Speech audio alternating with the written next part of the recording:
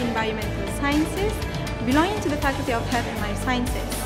I started my years in MSU in August 2013 and ended my final year in uh, August 2016 and then I further in my internship until February 2017.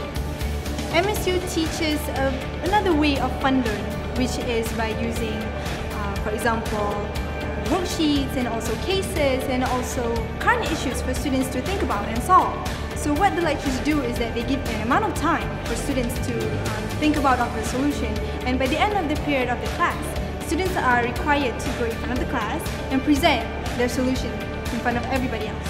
MSU also encourages students to have a well-rounded personality and also to be skillful in either management skills, in either communication skills or even IT skills.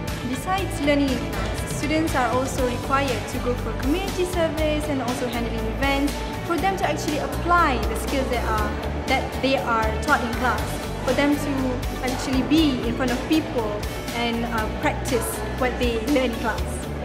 In MSU, there's this one system, it's called Graduate Employability Skills, which requires students to collect gems, these gems, and as an active student, I am getting myself involved in community services and also events within the campus.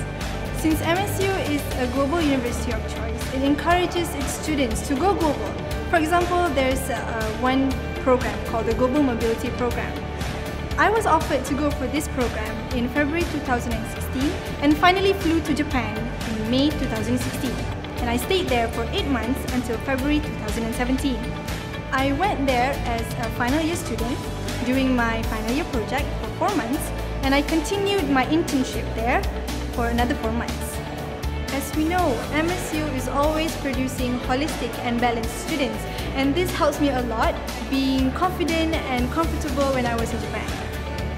I would like to thank MSU for the endless learning experience from day one until the end of my degree year and giving me the chance to go to Japan for the Global Mobility Program until I got the opportunity to go to pursue my Masters in Japan under the scholarship of JICA.